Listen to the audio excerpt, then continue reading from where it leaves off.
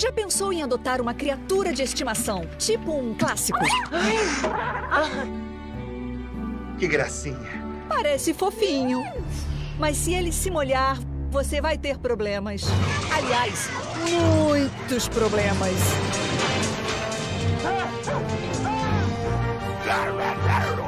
Hoje, duas e dez da tarde, logo depois do jornal Hoje, os Gremlins chegam para dominar a sessão de sábado.